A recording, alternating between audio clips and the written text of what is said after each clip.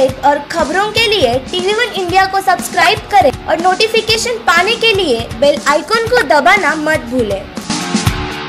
BJP विधायक गणेश नाईक का विद्युत कार्यालय पर मोर्चा बिजली बिल कम करने की मांग को लेकर आंदोलन। सवलत लॉकडाउन और कोरोना महामारी के बीच बेतहासा भेजे गए बिजली बिल ने नागरिकों का गुस्सा बढ़ा दिया है। विद्युत वितरण कंपनी की इसी मनमानी के खिलाफ मंगलवार को भाजपा विधायक गणेश नाइक ने वासी के विद्युत वितरण कार्यालय पर मोर्चा निकाला। भाजपा कार्यकर्ताओं ने यहाँ विद्युत विभाग की मनमानी के खिलाफ मुर्दाबाद का नारा लगाते हुए विरोध प्रदर्शन किया। इस दौरान जिलाध्यक्ष रामचंद्र घरत, महापौर जयवंत सुतार एवं भाजपा नेता दशरथ भगत समेत कई पदाधिकारी भी मौजूद थे। विधायक गणेश नाइक ने विद्युत अभियंता को ज्ञापन देने के बाद कहा कि लोग लॉकडाउन से आर्थिक संकट में हैं, जबकि बिजली विभाग उन्हें हज़ारों का ज़्यादा बिल भेजकर और मुसीबत बढ़ाने पर तुला हुआ है।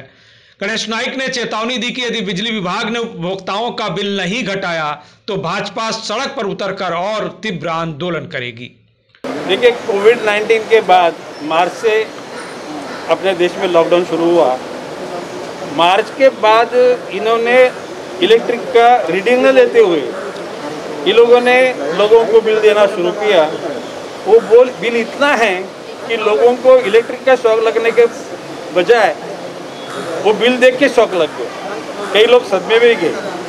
अभी ये लोग बोलते हैं कि इलेक्ट्रिक का बिल नहीं भरेंगे तो डिस्कनेक्ट करेंगे। तो मैं आपके माध्यम से पूरे जनता को चेतावनी दे रहा हूँ, किसी एक का भी इलेक्ट्रिक का कनेक्शन डिस्कनेक्ट किया गया तो हमसे संपर्क करें। हम लोग उनके साथ में रहेंगे इसका मतलब बिल न देना ये हमारे इरादा नहीं है, बिल देना। देखिए, राजा जब जनता किसी स्थिति में फंस जाती है तो राजा का फ़र्ज़ बनता है कि अपने यहाँ से जनता को मदद करे। अनाज के कोठार खोले। अभी महावितरण यदि अड़चन में है तो राज्य सरकार का करते हुए कुछ कर्जा निकाल के भले पैसा नहीं होगा तो महावितरण को स्ट्रांग बनाओ।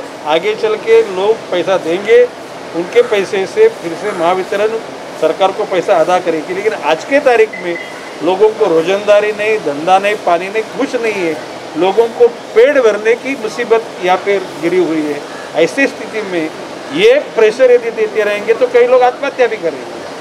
तो मैंने बोला है कि भाई, नितिन जी राउत विजय मंत्री ने कहा था कि भाई, एक 500 यूनिट तक हम लोग लोगों को बीज मुफ़्त देने का सोच रहे हैं। जाना तो वो 502 या 202 या सौ दो वो देने की बात बातें करो।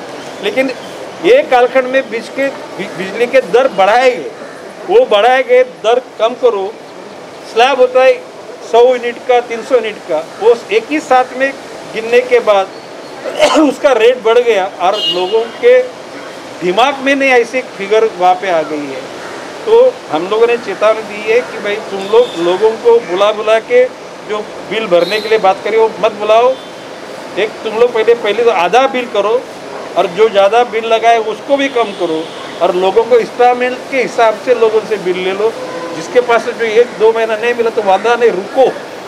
और उसके बाद जैसे पैसे आएँगे, ऐसे लोग देते रहेंगे।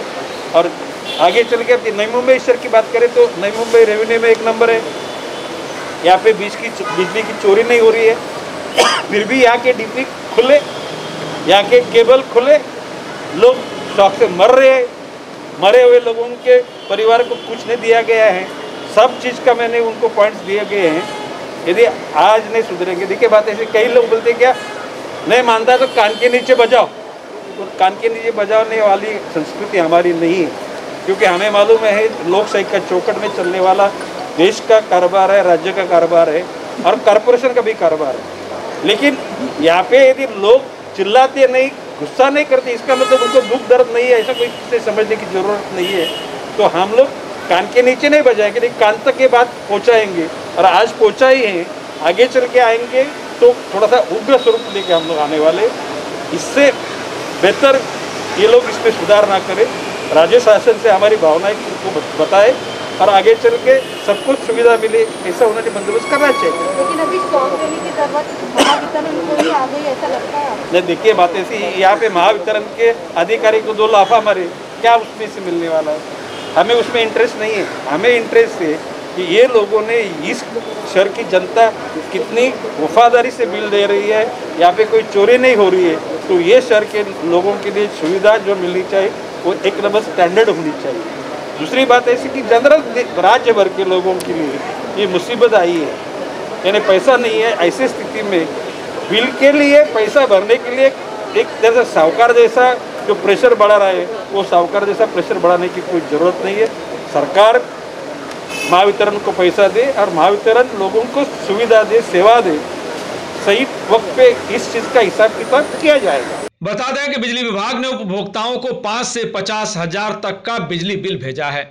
जिनके बिल अधिकतम 500 से 1000 रुपए तक आते थे, उन्हें भी 10 गुना ज़्यादा बिजली बिल भेजे गए हैं। हालाँकि वितरण कंपनी बिल को सही बताकर कोई भी रियायत देने को तैयार नहीं है और इसीलिए नागरिक इसे तानाशाही मानकर आंदोलन कर रहे हैं।